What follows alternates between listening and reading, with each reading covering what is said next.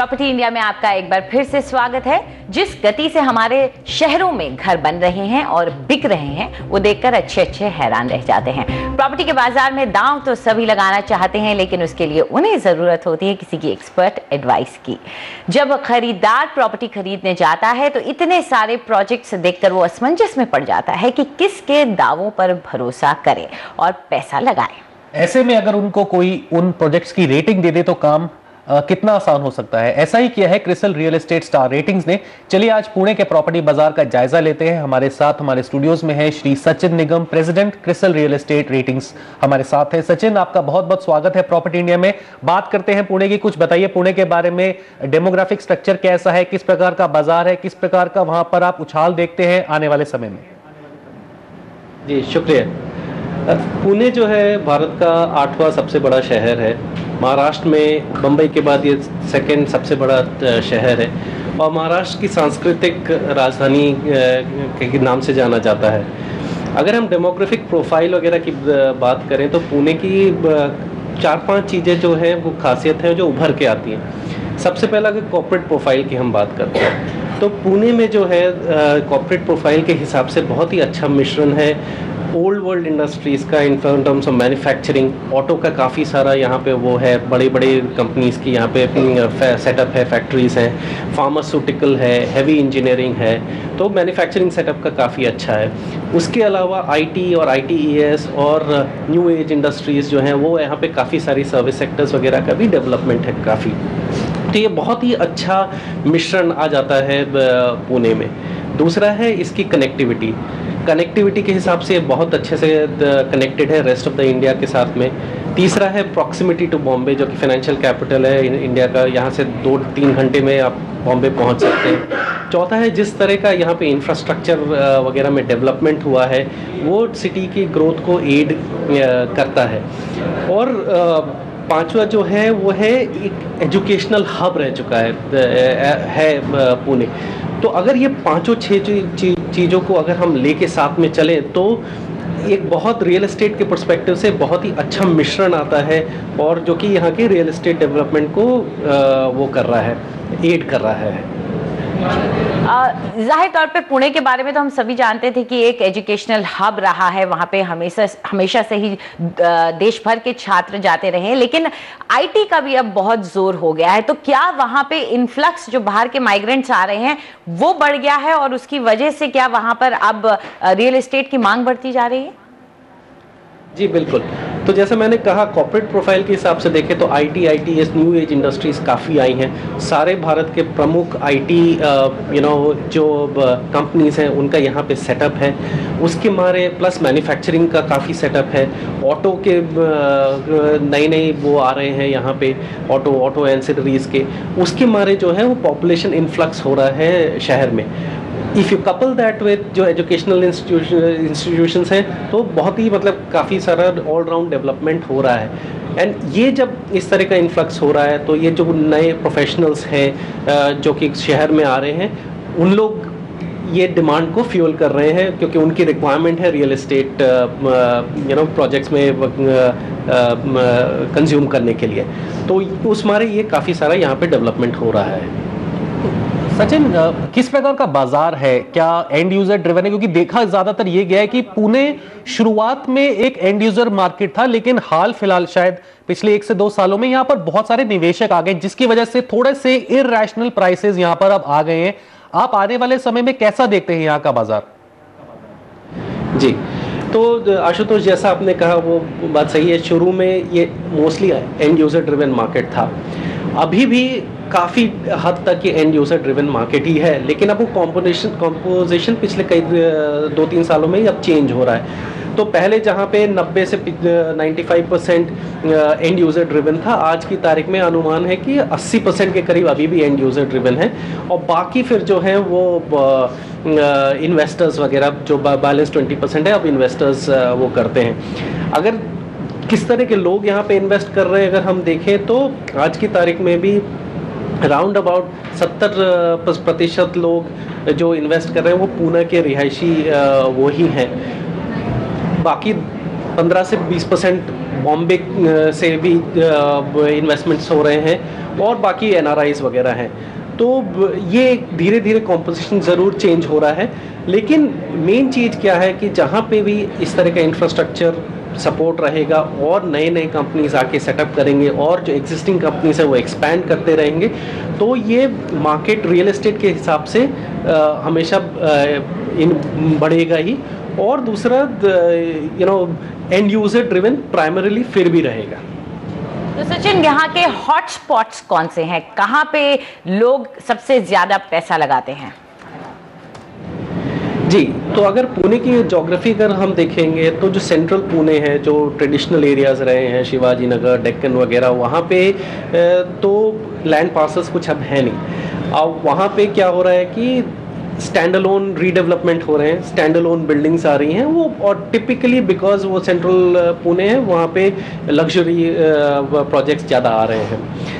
अब रह गया कि नए डेवलपमेंट्स कहाँ हो रहे हैं। तो नए डेवलपमेंट्स के दो हॉटस्पॉट्स हैं। एक है ईस्टर्न पुणे में जहाँ की बेसिकली जो वहाँ पे नए जो सेंट्रल बिज़नेस डिस्ट्रिक्ट्स वगैरह आए हुए हैं जो कि primarily B F S I I T और I T E S driven है और कुछ मैन्युफैक्चरिंग यूनिट्स भी आ रही हैं रंज, रंजन गाँव वगैरह में। उस मारे से ईस्टर्न साइड पे काफ़ी डेवलपमेंट हो रहा है जैसे कि कल्याणी नगर विमान नगर खराडी मगरपट्टा ये सारे एरियाज़ हैं। दूसरा जो जहाँ पे काफ़ी डेवलपमेंट देखा जा रहा है, वो है वेस्टर्न साइड ऑफ़ पुणे, जो कि जहाँ पे बेसिकली आईटी ड्रिवन डेवलपमेंट ज़्यादा है, और वो है बेसिकली हिंजेवाड़ी और उसके आसपास के एरिया जो कि प्राइमरली आईटी ड्रिवन है। तो ये दो साइड में काफ़ी हम डेवलपमेंट देख रहे हैं इस समय रियल एस्टेट का।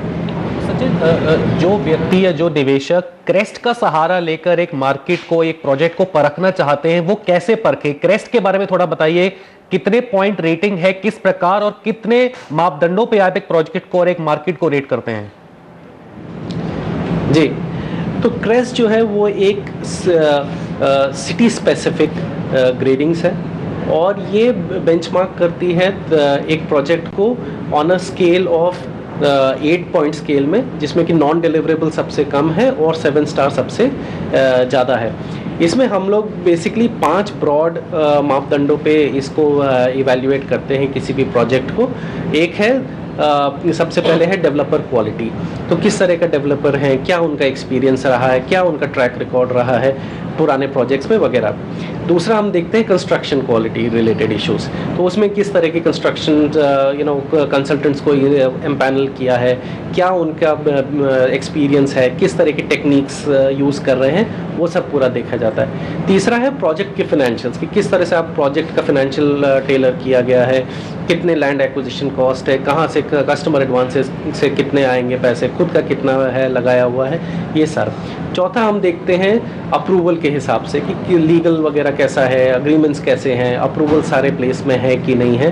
और पांचवा हम देखते हैं कि कुछ एक नया इनोवेशन लेकर आए हैं प्रोजेक्ट में कि नहीं, किस तरह से मतलब कुछ नई टेक्निक्स लेकर आए हैं, कुछ नया इनोवेशन लाए हैं। तो इन पाँचों मापदंडों पे देख के फिर हम लोग प्रोजेक्ट को रेट करते हैं। जैसा मैंने बोला, ये प्रोजेक्ट स्पेसिफिक है और सिटी स्पेसिफिक है। तो ये हम लोग एक्टिव बेंचमार्किंग करते हैं एक शहर में फॉर ईच इंडिविजुअल प्रोजेक्ट जी। और अगर कोई इंसान इसका इस्तेमाल करता है तो किस तरह से वो अपना डिसीज़न मेकिंग में इसका इस्तेमाल कर सकता है? और क्या ये जो क्रेस्ट की रेटिंग्स हैं, ये एक बार जब दे दी जाती हैं, उसके बाद निरंतर रहती हैं, या आप इसको रिव्यू करते हैं और इन प्रोजेक्ट्स को भी रिव्यू करते रहते हैं? जी तो एक जो एंड यूज़र है कंज्यूमर है, वो हमारी रेटिंग को इस्तेमाल कर सकते हैं as a credible third party opinion on a particular project and उसका दूसरा तरह से, इस तरह से इस्तेमाल कर सकते हैं कि ये जो पाँच ब्रॉड पैरामीटर है, उस पर हम लोग इवेल्युएट करते हैं। बट उन पाँचों पैरामीटर्स के अंदर पे भी बहुत सारे सब पैरामीटर्स हैं। तो ये 360 डिग्री इवेल्युएशन होता है एक पर्टिकुलर प्रोजेक्ट का from a credible third party agency like Crisil which is India premier rating agency तो ये एक एडिशनल कंफर्ट फैक्टर देता है एक एंड कंज्यूमर को कि वो जिस प्रोजेक्ट में वो अपना पैसा लगा रहे हैं उस प्रोजेक्ट में आ, सब कुछ ठीक है कि नहीं है। एक नंबर वन दूसरा जो आपने पूछा था कि इसको किस तरह से हम लोग रिव्यू करते हैं तो ये वन टाइम एक्सरसाइज नहीं है। जब तक ये प्रोजेक्ट कंप्लीट होकर हैंड ओवर नहीं होता है तब तक हम इसका एनुअल सर्वेलेंस करते हैं और रिव्यू करते हैं और उसको ट्रैक करते हैं उसके प्रोग्रेस के अगेंस्ट तो उस जिस तरह से प्रोग्रेस होती है उस तरह से या तो प्रोजेक्ट सेम लेवल पे रहता है या अपग्रेड होता है या डाउनग्रेड होता है। तो ये कंटिन्यूस और ये सारी चीज़ें हमारे वेबसाइट पे अवेलेबल होती हैं। और सचिन मेरे ख्याल से अब वक्त है उस चीज़ का जिसकी जिसका हम सबको इंतज़ार होता है और हमारे दर्शकों को भी इंतज़ार होता है उन प्रोजेक्ट्स का जिनको आपने रेट किया है परखा है जांचा है और क्या रेटिंग दी है? थोड़ा बताइए उन प्रोजेक्ट्स के बारे में। जी तो पुणे प्रोजेक्ट में, पुणे में हम लोग ने काफ़ी सारे प्रोजेक्ट्स की रेटिंग की है तो उसमें से तीन प्रोजेक्ट्स के बारे में थोड़ा सा बात करना चाहूँगा।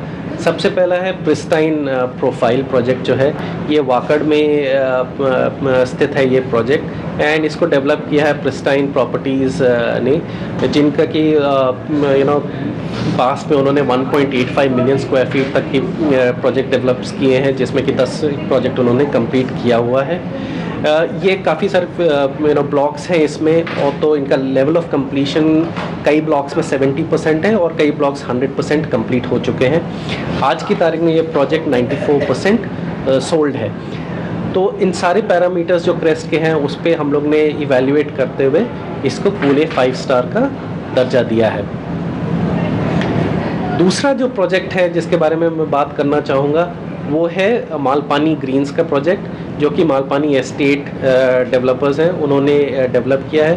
ये प्रोजेक्ट भी वाकड़ में स्थित है और 200,000 स्क्वायर फीट के करीब का इन्होंने मालपानी एस्टेट्स ने डेवलपमेंट किया है पास्ट में। और ये प्रोजेक्ट आज की तारीख में 100 परसेंट कंप्लीट है और अबाउट 80 परसेंट के करीब इसका सेल्स भी हो चुकी है। इसको भी सारे पैरामीटर्स पे देखते हुए हमने इसको इवेल्युएट किया और इसको पुणे का सिक्स स्टार की ग्रेडिंग दी थी। तीसरा जो प्रोजेक्ट है जिसके बारे में मैं आपको बताऊँगा वो है स्काई स्ट्रॉन्गबर्ड फ़ेज़ वन इसको जो डेवलपर हैं, वो है एनर्जिया स्काई डेवलपर्स और इनका अबाउट 900 थाउज़ेंड स्क्वायर फीट का इनके पास इन्होंने डेवलपमेंट किया है इन द पास्ट और आज की तारीख में ये प्रोजेक्ट 40 परसेंट कंप्लीट है और 85 परसेंट के करीब आज की तारीख में सोल्ड है। इसको भी हम लोग ने पूरा इवेल्युएट करते हुए पुणे फाइव स्टार का दर्जा दिया था। तो सचिन, आपसे आखिर में ये भी जानना चाहेंगे कि अगर आपने जिस तरह से बताए हैं ये प्रोजेक्ट्स अच्छे रेटिंग वाले हैं, इस टाइप के प्रोजेक्ट्स में अगर हमारे दर्शक इन्वेस्ट करते हैं तो किस तरह का रिटर्न रहता है पुणे में? देखिए, जो रिटर्न्स है वो प्रोजेक्ट टू प्रोजेक्ट और micro market to micro market भी वेरी करता है। बट हमने ये देखा है कि on a long term basis Pune का जो रियलिटी मार्केट है, उसने काफ़ी अच्छे रिटर्न्स दिए हैं। और जिस तरह की डेमोग्राफिक है सिटी की, उसमें मेरे ख्याल से अगर कोई भी यू नो चाहे वो एंड यूज़र हो, चाहे वो निवेशक हो, कोई भी हो, अगर वो इन्वेस्ट करता है and over a long term period देखता है तो जिस तरह की मार्केट में डेमोग्राफिक है, वो रिटर्न्स उनको काफ़ी अच्छे मिलेंगे, उसमें कोई आशंका की बात नहीं है। क्योंकि ज़्यादातर लोग जो हमें सवाल भेजते हैं, जिनकी शंका होती है, वो ये जानना चाहते हैं कि दाम कितनी देर से बढ़ेंगे क्योंकि अल्टीमेटली निवेशकों के लिए दाम ही सबसे ज़्यादा इंपॉर्टेंट होता है। लेकिन देखा यह गया है कि पिछले साल, दो साल में जो मंदी आई है, उसके चलते बड़े शहरों में नहीं, छोटे शहरों में भी जो रिटर्न्स थे, वो अब काफ़ी हद तक नीचे आ गए तो एक अगर निवेशक है जो पुणे की तरफ़ देखता है तो उसको कितने रियलिस्टिक रिटर्न्स लेके चलना चाहिए? एक्सॉर्बिटेंट रिटर्न्स तो वो नहीं मिल सकते उसको। तो एक रियलिस्ट एक रियलिस्टिक रिटर्न रेंज कितना हो सकता है? देखिए जिस तरह की मैक्रो इकोनॉमिक सिचुएशन है और जिस तरह के एनवायरनमेंट है उस हिसाब से एग्जॉर्बिटेंट रिटर्न जो आप पहले बोल रहे थे वो तो अभी आउट ऑफ़ क्वेश्चन और पिक्चर हो गया है। बट फिर भी over a long term reasonably long term period I think 10 से परसेंट पंद्रह परसेंट तक का रिटर्न्स तो बहुत इजीली यू नो आज की तारीख में uh, मिल सकता है। पुणे जैसे मार्केट में और जाते जाते एक सवाल आपसे ये पूछ जाते हैं कि आपने कुछ हॉटस्पॉट्स हमें बताए थे तो इन हॉटस्पॉट्स में से अगर कुछ हम गुड परफॉर्मिंग हॉटस्पॉट्स की बात करें तो थोड़ा उन पर रोशनी डाल दीजिए। जी तो जैसे मैंने बोला कि आ, अगर आप देखें तो लॉट ऑफ़ दीज हॉटस्पॉट्स जो हैं वो eastern side of the city में हैं एंड वेस्टर्न साइड में भी हैं। तो ये हिंजेवाड़ी है ये अपना विमान नगर है, खराडी है, मगरपट्टा है, ये सारे जो एरियाज़ हैं, वो काफ़ी उभर कर आए हैं पिछले कुछ सालों में और यहाँ पे इंफ्रास्ट्रक्चर डेवलपमेंट वगैरह भी बहुत अच्छा हुआ है और उस हिसाब से प्रॉपर्टी रेट्स वगैरह यहाँ पे काफ़ी अप्रिशिएट हुए हैं और वैसा पुणे में ये एडवांटेज है कि शहर का डेवलपमेंट चारों तरफ़ से हो रहा है तो नए नए बेल्ट्स भी उभर के आएँगे फ्यूचर में बट आज की तारीख में ये बेल्ट काफ़ी अच्छे हैं और वेस्टर्न साइड पर हिंजेवाड़ी जो है।